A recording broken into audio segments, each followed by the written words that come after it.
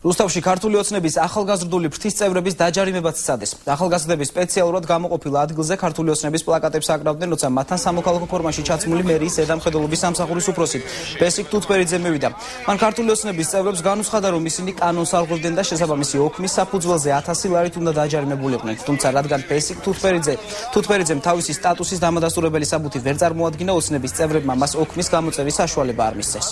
მე მაინტერესებს ნიმძანდები. პრომდი შენთან და შენი მათ დაარღვეს საარჩევნო კოდექსის მე-80-ე მუხლე და საკრებულოს დადგენება, რომლის მიხედვითაც ყველა სუბიექტს ჰქონდა გამოყოფილი ადგილიზე თანაბარი ოდენობის საინფორმაციო ბანერების განთავსების უფლება.